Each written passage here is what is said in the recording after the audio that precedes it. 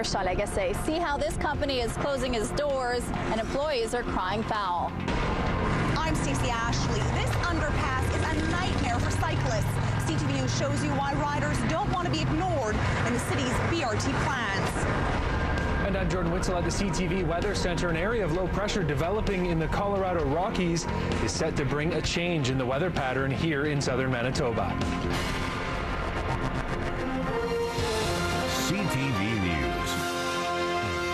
From downtown Winnipeg with Gord Leclerc and Marilee Caruso. Breaking news tonight about one of the biggest stars in the world. Good evening. Thanks for joining us. Reports tonight say the king of pop, Michael Jackson, has died. Jackson was rushed to a Los Angeles hospital this afternoon. With more now, here's ABC's Carla Wohl. Michael Jackson liked to call himself the king of pop, and in his heyday, it was no exaggeration. He could sing, and boy, could he dance. Jackson performed his famous moonwalk for the first time on Motown's 25th anniversary special. He had been perfecting his act since the age of five when he would sing with his brothers in clubs around their hometown, Gary, Indiana. The Jackson Five soon came to the attention of Motown's Berry Gordy. The rest, as they say, is history.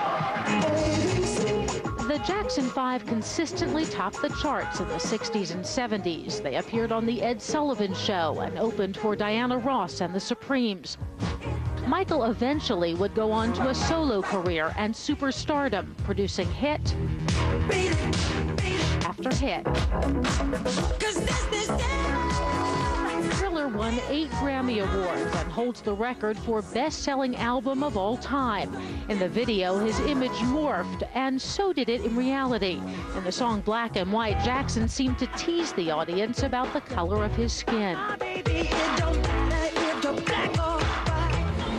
The years, Jackson's skin became lighter. He said it was from a disorder that destroyed the pigmentation of his skin. And his features changed, although he claimed to have had only two surgeries on his nose to help him sing better.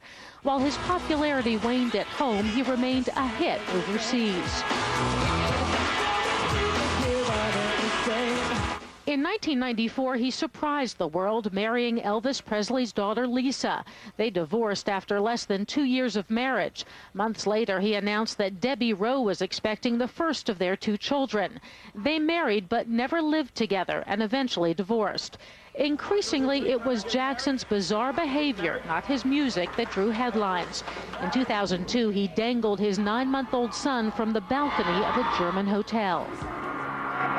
A couple of years later, Jackson gave an impromptu performance outside a California court where he was charged with molesting a 13 year old boy. And one day arrived at trial wearing pajamas. He ultimately was acquitted and left the country. In interviews, Jackson talked about the price of superstardom, about how lonely it was. He said, It hurts to be me. Pain that in the end, even the music couldn't stop. Carla Wohl, ABC News, Los Angeles. And CTV's John Hendricks joins us now. John, what's the immediate reaction to this shocking news?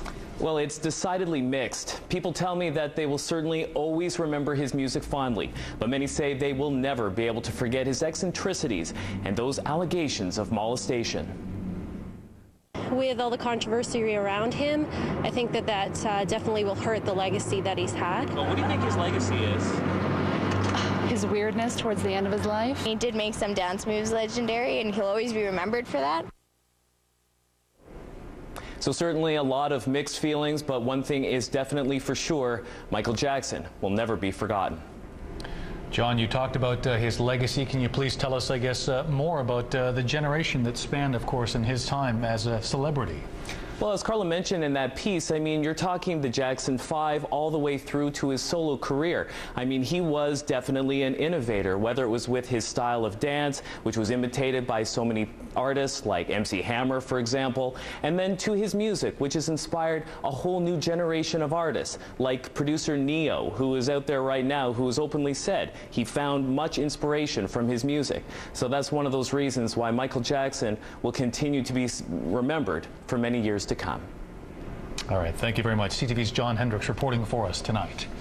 Another Manitoban has been diagnosed with the H1N1 flu virus and died. Manitoba Health says it was a child under 18 years old who had an underlying medical condition.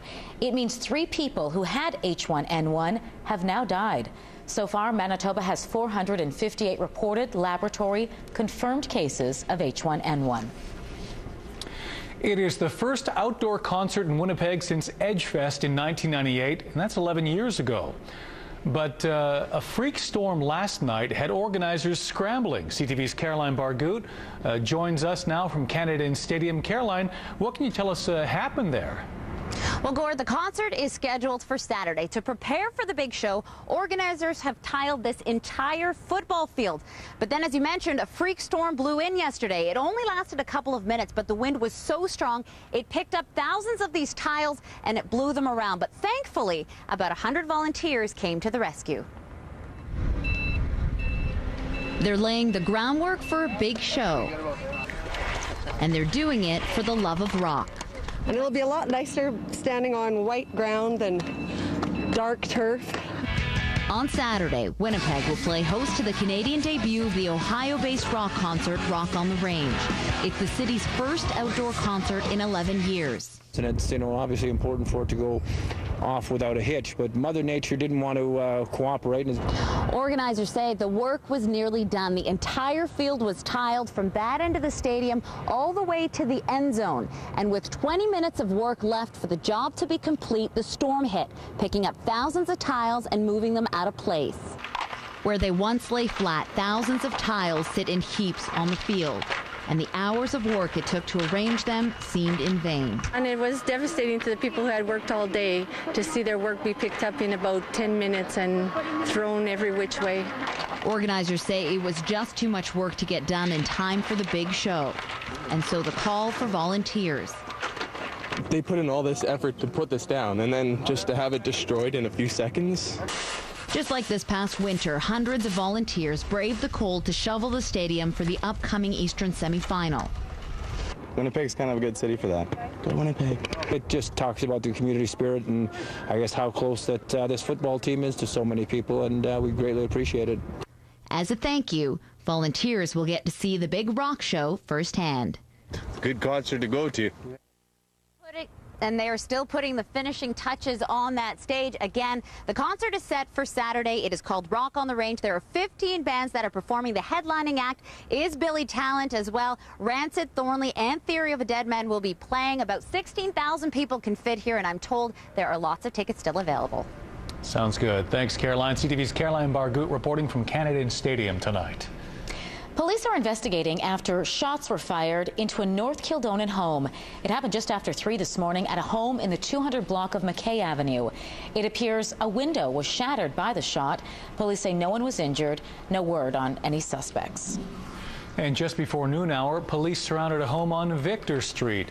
The tactical squad was executing a drug warrant.